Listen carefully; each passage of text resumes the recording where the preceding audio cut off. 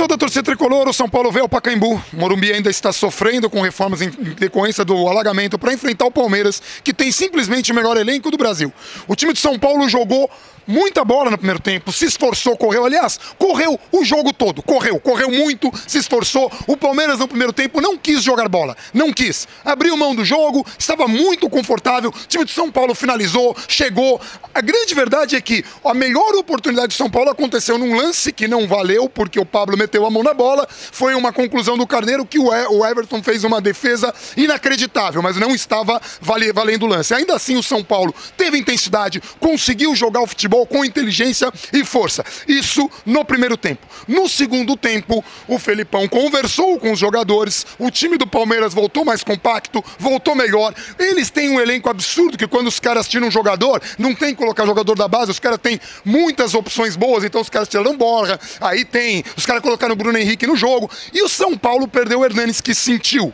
No momento em que perdeu o Hernanes, os, tinha 15 minutos para terminar o jogo. Faltavam 15 minutos para terminar o jogo.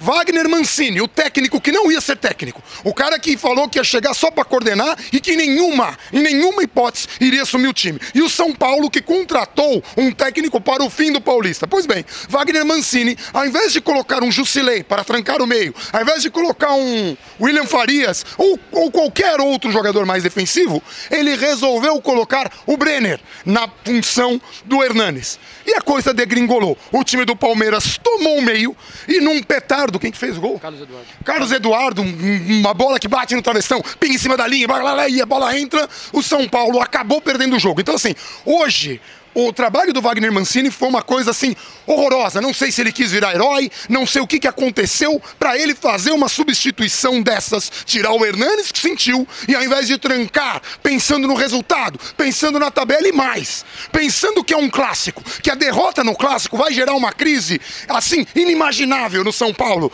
porque perde o clássico, não depende mais de si. O São, se o Corinthians perder amanhã pro Oeste, o São Paulo nem chega, né? Nem chega no, no, no na fase de. Então assim é é, isso foi o São Paulo hoje. Tem alguma coisa? O que você viu no jogo? É, é, é, eu tô inconformado com a alteração do Brenner, eu tô inconformado, eu tô inconformado, eu tô assentado ali. Quando ele botou o Brenner, eu falei, nós vamos perder o jogo. Ele vai conseguir fazer o São Paulo perder o jogo. É, é inacreditável. O São Paulo pro jogo do, do, da Ferroviária, Ferroviária, que a gente fez o vídeo aqui.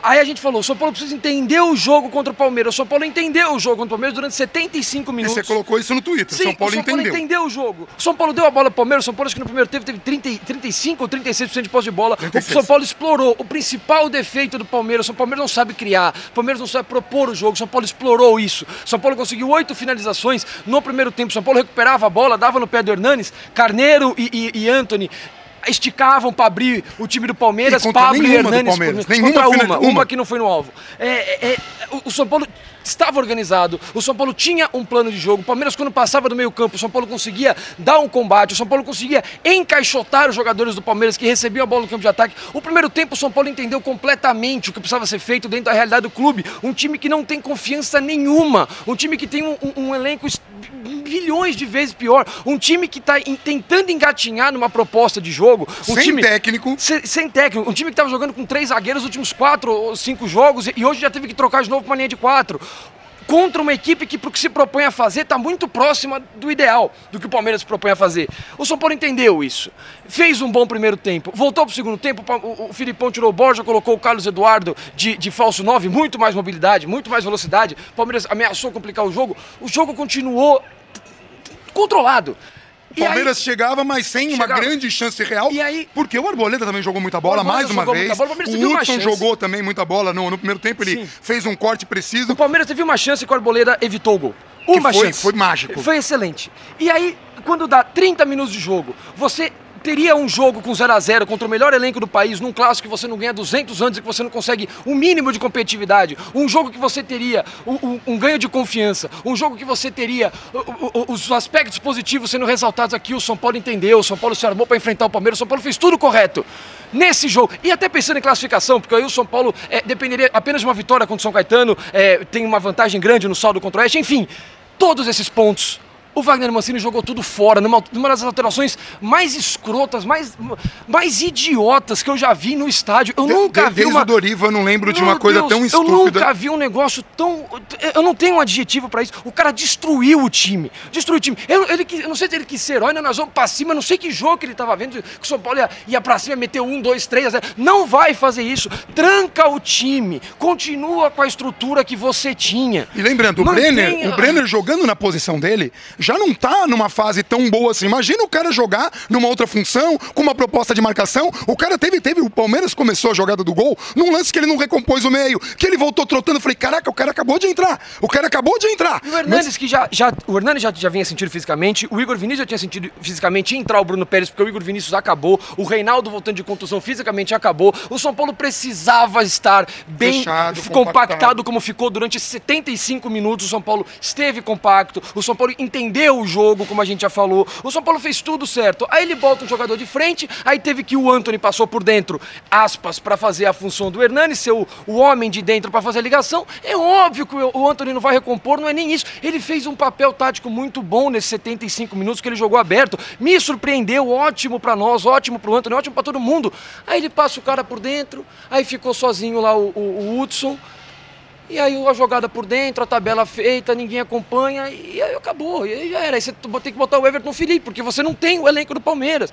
Pô, entende as coisas, cara. É, e O São Paulo assim- escolheu perder o jogo hoje. O São É. Paulo escolheu. Aí começa a vir comentários, eu, eu- eu já tô aqui no, Twitter- no Twitter, começa a vir. Ah, o Palmeiras jogou como quem se- sentisse que fosse ganhar a qualquer hora. Ah, o, o que, que você esperava do São Paulo? Durante 75 minutos tá tudo certo. Tranca o time pra terminar o jogo e tava tudo certo. Não é jogou como quem vai ganhar a qualquer hora. O Palmeiras não conseguiu criar, porque o Palmeiras não consegue criar propondo o jogo. Sim, e aí sim, se ele tivesse trancado e o Palmeiras tivesse achado um gol, achado um gol, é uma coisa. Mas o, o São Paulo errou contra um time que tem um elenco e que não pode errar. Sobrecarregou o Hudson absolutamente. O Hudson também que estava voltando de contusão. O Hudson também estava voltando de contusão e também devia estar sentindo. Então a gente tem que pensar tudo isso. São Paulo jogou com uma intensidade absurda no primeiro tempo. Absurda. No primeiro tempo, todo mundo se entregou. O Hudson, tudo perfeito. O Hudson, o Reinaldo que voltou de contusão, o Hudson voltou de contusão. É, é, o Arboleda, que não voltou de contusão, mas estava jogando muito bem. Estava jogando numa linha de quatro. O time teve que se entregar. Chega no segundo tempo,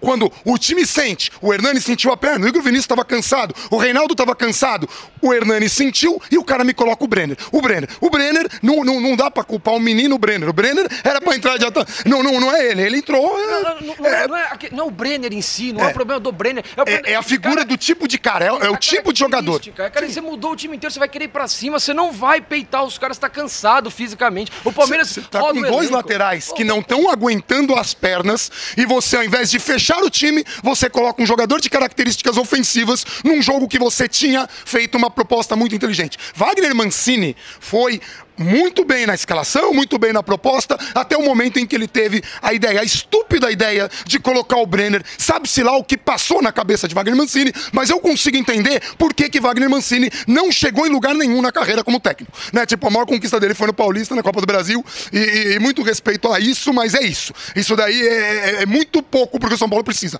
Agora, vamos lembrar, o São Paulo abriu mão do Campeonato Paulista, contratou um técnico para, depois que o Campeonato Paulista é, é, chegasse. E tem mais uma coisa, o técnico que fala, ah, não quero tal jogador, é a torcida. Dane-se o que o técnico quer, traz o jogador. Então, assim, se é pra não respeitar o técnico, pra que trazer? Se se pra, pra- então traz um técnico que tem o perfil dos jogadores que querem que se contrate. Dois pontos. Primeiro ponto.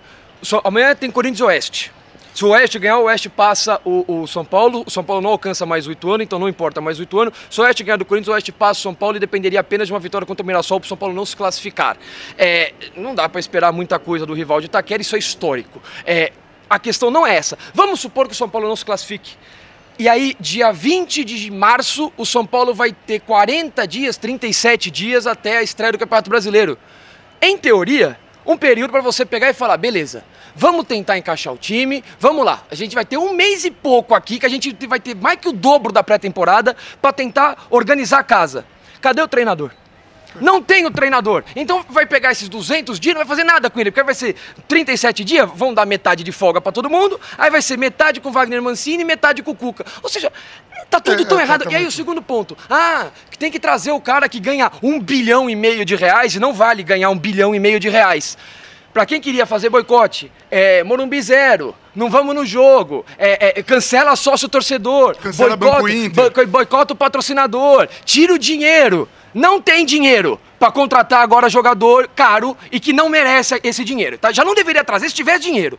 Tendo dinheiro, não vai trazer. Por quê? Porque não tem dinheiro. Então vamos continuar com o Morumbi Zero, que é legal, muito bom, excelente, resolve o problema de São Paulo. Isso, olha, ótimo pra quem faz Morumbi Ironia, Zero. É, ironia, 100% de ironia. Então vamos continuar com essas medidas extremamente eficazes, porque eu tô cansado, e aí eu tô cansado, eu vou tomar medida pior pra piorar a situação. Eu, eu queria muito entender a lógica disso. E aí não vai ter dinheiro pra contratar. E outra, o técnico não quer. Se o técnico que nem assumiu já vai começar a ser contrariado e traz de qualquer jeito, ele que se vire, como aconteceu com o Dorival, aí beleza. Então daqui, o quê? Quatro meses, três meses, abril, maio, junho, julho, agosto, lá pra setembro, a gente procura outro técnico. Aí vai estar brigando pra não cair, o técnico não encaixa o time, ah não, ele tem que se encaixar com o que ele tem. Então a gente vai continuar com esses grandes raciocínios e com essas grandes mentalidades. Traz um técnico de um estilo, o jogador do outro, problema do técnico, e daqui quatro meses a gente traz outro técnico. Aí vai continuar dando tudo isso, tudo certo. É, é uma lógica tão inteligente quanto Wagner Mancini colocar o Brenner no lugar do Hernandes. Então veja, a gente não é questão do, de ser o jogador e até o próprio, até a própria comissão do técnico entende que o Pato é um bom jogador, mas não tem as características que o técnico quer. O técnico quer montar uma proposta, uma filosofia de jogo. Se você está trazendo um técnico porque você quer resgatar o que ele ganhou, vamos tentar confiar nele. Veja, não sou fã do Cuca, mas sei que vou ganhar a- a- o apelido de viúva do Cuca porque eu vou defender o trabalho dele e o que eu tô defendendo é respaldo para que esse trabalho, de quem eu não sou tão fã, não sou fã do Dorival, mas defendi ele muito, ganhei pecha de viúva do, do Dorival. O Aguirre eu realmente gostava, ganhei a pecha de viúva do Aguirre e agora eu estou tentando fazer o que o São Paulo não está, dar um pouco de respaldo pro técnico, dar tempo pro técnico trabalhar. Não dá pra em, Das em- peças que o técnico quer pra trabalhar. E, e se, se o Cuca me sai em Pra outubro, condições. em seis meses a gente vai ter o quê? Quatro técnicos? Foram três técnicos Ah, em a seis meses? É, é, é, é, não dá, é, é, é, é bizarro. É uma vergonha o que o São Paulo tá fazendo e o resultado tá aqui em campo. Mas hoje, hoje, e é difícil falar isso, São Paulo tinha entendido, podia sair com um empate que seria uma vitória até a ostra, todos até. os aspectos, é. em todos os aspectos. É a vitória em todos os aspectos. De classificação, de confiança, de, de apontar bons aspectos do time dentro de campo, para os jogadores melhorarem, entenderem o que, que eles podem fazer, para tudo, para tudo. Pegamos tudo isso e a gente transformou em caos. A gente transformou em grito contra não sei quem, em time sem vergonha.